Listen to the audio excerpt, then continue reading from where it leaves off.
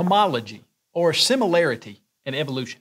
You know, for more than 100 years, evolutionists have argued that similarities among living things prove that living things share a common ancestor. You know, because the flipper of a whale and the forefoot of a dog have certain likenesses.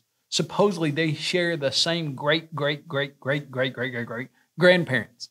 Similarities between the wing of a bat and the forefoot of a turtle are supposedly proof of evolution because of DNA of the chimpanzee and humans and their similarity 96, 98% of the time.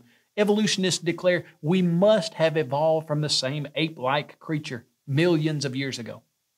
You know, creationists don't deny that similarities exist. I'll tell you what creationists do, however. They do deny that similarities among living things prove evolution. In fact, similarities among living things fit perfectly with the creation viewpoint. This is exactly what we would expect among creatures that drink the same water, eat the same food, breathe the same air, live on the same land. Common features among living things make perfect sense if we all share a common creator.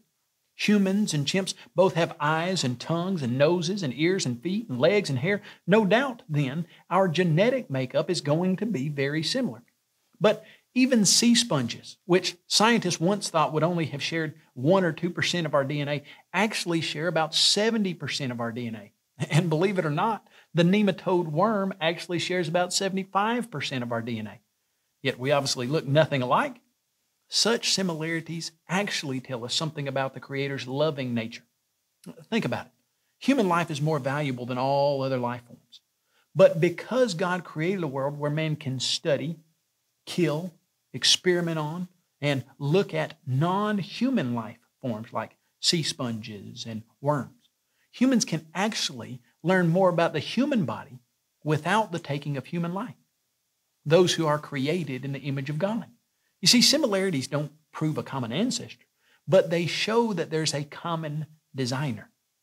In short, even though you'll likely read about evolutionist similar things argument in almost every textbook that addresses the theory of evolution, similarity does not prove evolution to be true. It's just another example of the evolutionist's faulty interpretation of the facts, facts that creationists openly embrace and logically explain.